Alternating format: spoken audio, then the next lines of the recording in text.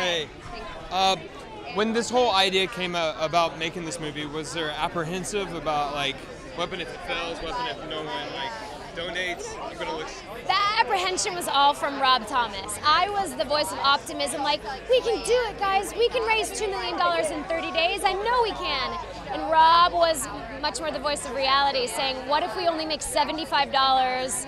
We're gonna look so stupid. And I said, yeah, well, so what? Then, then we move on. And thankfully, our fans are the best fans in the world, and they rallied, and they're awesome.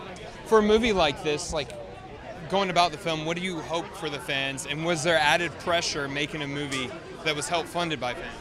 Yeah, there was definitely added pressure because you, you want, as an artist, you want every project to be the best it can be, and you want the audience to enjoy it. But because the audience stepped up to the plate, we did not um, take that for granted. We, we wanted to satisfy our Kickstarter backers and uh, satisfying the studio, satisfying new audiences were very secondary.